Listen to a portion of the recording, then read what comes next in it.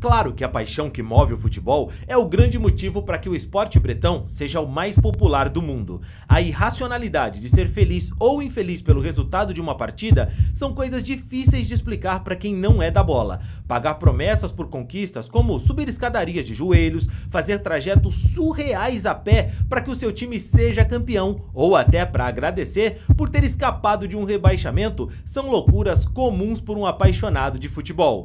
Amar um jogador quase como se ele fosse parte da sua família por tudo que ele conquistou com o seu time e detestar um jogador que é ingrato ou desrespeitoso com seu time são coisas muito comuns na bola. Mas quando esse sentimento extrapola o campo esportivo, quando a crítica deixa de ser sobre a bola e passa a ser sobre a vida pessoal, é algo que pode causar nos jogadores uma revolta justificada e por vezes até um ódio daquele time e daquela torcida. Com o Vitinho, a situação pode ter sido justamente essa. O jogador que chegou como uma das grandes contratações do Flamengo, que buscava mudar o time de patamar, viu as críticas se tornarem vaias, as vaias se tornarem ofensas e as ofensas se tornarem perseguição. O jogador que chegou como herói saiu escorraçado e cansado de fazer silêncio sobre o que viveu no Flamengo, o Vitinho acabou desabafando e falando tudo que ele passou no rubro-negro. Mas você sabe por que o Vitinho foi tão perseguido no Flamengo? Sabe os bastidores da sua saída e o que aconteceu com o jogador depois?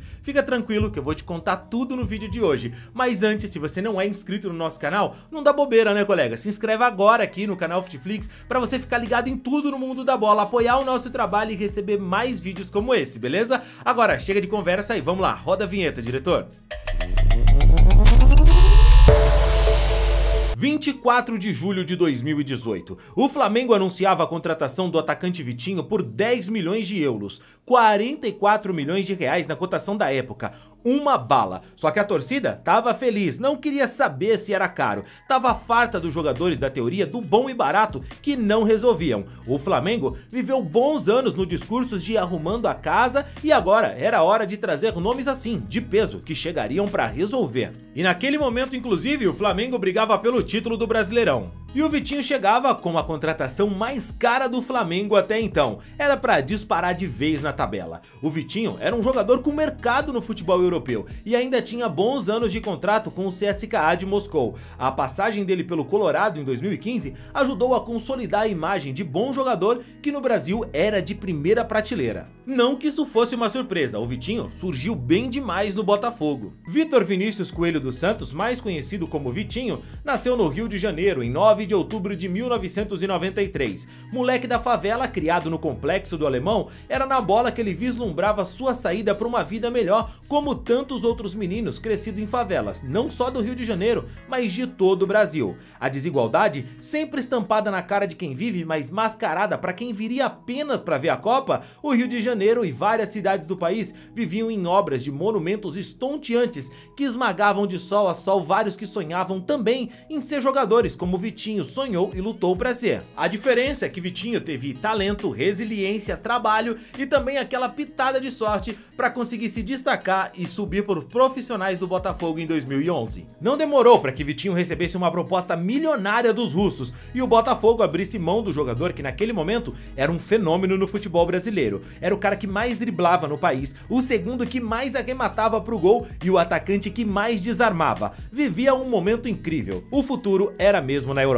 Só que jogar na Rússia era um pouco questionável, pelo menos para um jogador que mostrava tanto potencial quanto o Vitinho. Ele não foi mal no CSKA, isso é verdade, só que a adaptação para um lugar tão diferente em clima, cultura, língua e também todos os aspectos do futebol, cara, tornam tudo muito difícil. O jogador teve muitas dificuldades para se adaptar e quando ele chegou a oportunidade dele poder voltar ao Brasil para defender o Colorado em 2015, ele não teve dúvidas em aceitar. Quem é que teria, gente? Jogou muito pelo Inter, se valorizou e a pedida para contratação do atacante em definitivo pelos russos era surreal na época. Vários clubes, inclusive o Flamengo, queriam a contratação do jogador naquela época, afinal ele estava jogando muito no Colorado, mas não dava certo. Os russos pediam um valor exorbitante pelo jogador, já que queriam contar com ele ainda no futebol europeu. Somente naquele 24 de julho de 2018 é que o Flamengo conseguiu acertar todos os detalhes com os russos e abriu o cofre para pagar um valor milionário que queriam por Vitinho.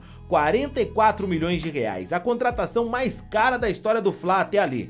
Coisa de maluco. Pro futebol brasileiro era surreal, mas ninguém, ninguém na época questionou o investimento. Era um tiro certo. E aqui quero que você pare e diga com honestidade, o Vitinho foi um fracasso no Flamengo? Em 4 anos com a camisa do Flamengo, ele fez 215 jogos, 29 gols, conquistou duas vezes a Libertadores da América, bicampeão brasileiro e uma Copa do Brasil, entre outros títulos que contabilizam 15 taças pelo Flamengo. Não foi uma passagem fracassada em absoluto mas o Vitinho nesse período foi chamado de jogador sem culhão, de preguiçoso e até de merda por um jornalista numa transmissão. Eu concordo com você que o Vitinho, por tudo que a gente falou aqui nesse vídeo, que fez no Botafogo, no Internacional, era um jogador de quem se esperava mais, é claro, ganhava bem, tinha um timaço com companheiros de elite para que ele não precisasse fazer nada sozinho. As coisas infelizmente para ele no Flamengo não aconteceram, ele não foi bem no rubro-negro. Pode até ser que em algum momento faltou mais vontade do Vitinho,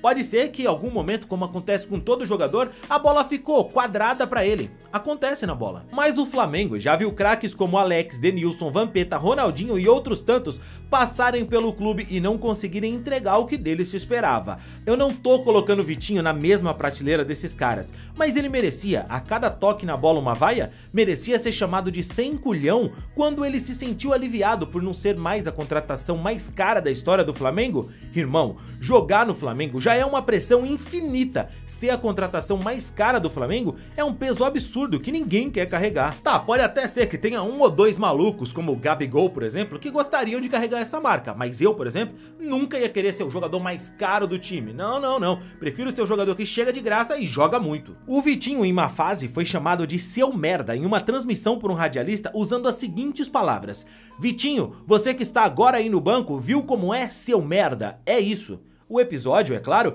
revoltou o Flamengo, os jogadores e grande parte da torcida também achou que ali foi exagero. Mas você tem ideia de quantos idiotas isso não influenciou? Do quanto as críticas constantes de jornalistas, especialistas, influencers e youtubers massacrando cada erro do jogador levaram vários torcedores a odiarem o jogador por influência? E presta atenção, eu não tô falando que o Vitinho jogou um absurdo no Flamengo, longe disso. Eu vi jogos dele contra o meu São Paulo que eram bizarros, com chutes que ele batia no Maracanã e a bola caía em São Januário, mas eu também vi esses erros no Gabigol, no Arrascaeta e até no Bruno Henrique, porque jogadores de futebol estão ali para errarem, para acertar. Acontece, meu amigo. Não são por isso uns merdas, vagabundos ou incompetentes. A paixão pelo futebol é linda e é ela que move o esporte, mas essa irracionalidade para se lembrar que antes de cada atleta existe um ser humano é algo bizarro que não me entra na cabeça. A pressão foi tanta que durante o período que estava no Flamengo, o Vitinho precisou de ajuda, apoio do clube, apoio psicológico, se afastar das redes sociais porque as críticas eram muitas e pesadas. E isso a gente tá falando só dos malucos que criticam, nem estamos citando os criminosos que ameaçam. Mas o jogador não conseguiu dar a volta por cima, não no Flamengo, e cá entre nós, não é fácil mesmo, cara. As grandes histórias de volta por cima, de superação, são interessantes justamente por serem raras no futebol. O Vitinho várias vezes vezes se calou diante das críticas, mas também teve vezes que ele precisou desabafar. As críticas fazem parte da vida do profissional, eu aprendi a conviver com elas, principalmente no futebol, onde a paixão muitas vezes prevalece sobre o equilíbrio e sobre o bom senso. Sou o meu maior crítico, busco incessantemente evoluir, reconheço que não estou no meu melhor momento, o remédio é o mesmo de outras vezes, trabalho. O Vitinho chegou ao Flamengo naquele 24 de julho de 2018, dizendo que realizava um sonho de criança de jogar pelo rubro-negro. O sonho virou pesadelo. Quando Vitinho deixou o Flamengo, grande parte da torcida agradecia e comemorava a sua partida. Ele foi jogar lá no futebol saudita para conseguir um pouco de paz de tudo que viveu nos últimos anos. Ele foi mal no Flamengo. Como ele mesmo disse várias vezes, é o seu maior crítico. E o torcedor pode cobrar, pode vaiar, pode até pedir a saída de um jogador mas até onde vai esse limite? Aonde é que fica traçada essa linha e como não ultrapassá-la? Olha como estão os estádios violentos e as pessoas violentas. Cara, eu nunca levei meu filho para um estádio de futebol. Ele tem 13 anos e tá maluco para ir ver um jogo no estádio. Mas eu nunca consegui ter coragem de expor ele a essa violência. E cada vez que eu penso que vou tomar coragem, a coisa fica pior. Olha Vila Belmiro, olha São Januário, olha o que tá acontecendo. Hoje, cada derrota é motivo de briga no estádio. Um jogador que vai mal é avacalhado, tirado pra merda. É assim que funciona o futebol brasileiro hoje. Alguns seguidores questionam que aqui no canal eu sempre vitimizo o jogador, que eu falo sempre bem de todo mundo, que eu nunca critico ninguém, não chamo o jogador de ruim. É claro que eu critico, mas eu critico o jogador e não o ser humano. As críticas que atacam o ser humano pelo que ele faz na bola são desumanas. Elas destroem, machucam. Veja Vitinho, ele tinha o sonho de criança de jogar com a camisa do Flamengo e as últimas notícias em diversos portais são de que o jogador pensa em um dia voltar ao Brasil, mas não ao Flamengo. Ele sente que o seu ciclo no rubro-negro se encerrou.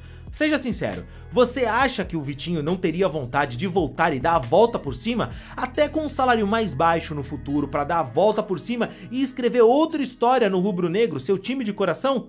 Mas as críticas que ele recebeu foram tão pesadas que o tudo que o jogador sente hoje é alívio por ter acabado a passagem dele no rubro-negro, o seu sonho de infância. Porra, irmão, isso não é triste demais não, velho? Tipo, o sonho de infância do cara acabou. Ele não quer voltar pra lá porque, pô, Futebol é isso, irmão?